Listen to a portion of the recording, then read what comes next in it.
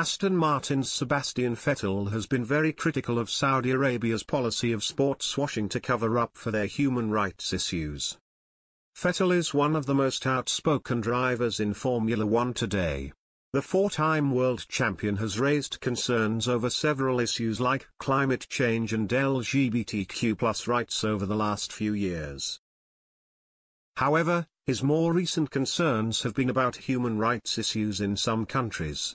In particular, he admitted that he wasn't comfortable with F1 working closely with countries like Saudi Arabia. Vettel went as far as questioning how clean the money F1 earns from these countries actually is. It's wrong we go to certain places because if you had morals then you would just say no, Vettel said. Saudi Arabia hosted its first ever F1 race last year in Jeddah. In what was a monumental moment for motorsports in the Middle Eastern country, the former Red Bull driver admitted that he wasn't comfortable racing there.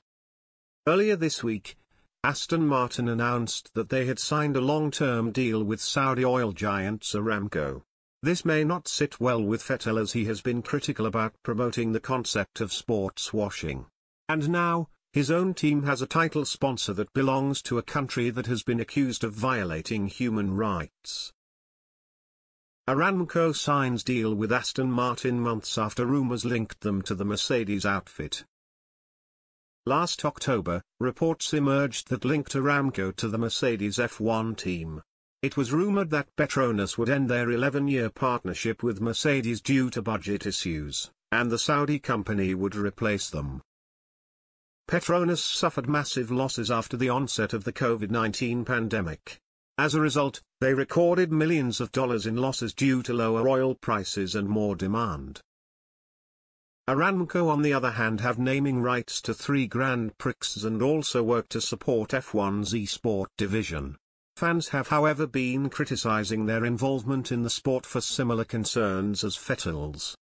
The deal between Mercedes and Aramco obviously didn't go through and Petronas remains the Brackley-based team's main title sponsor. Meanwhile on Twitter, Aston Martin announced their partnership with the oil giants.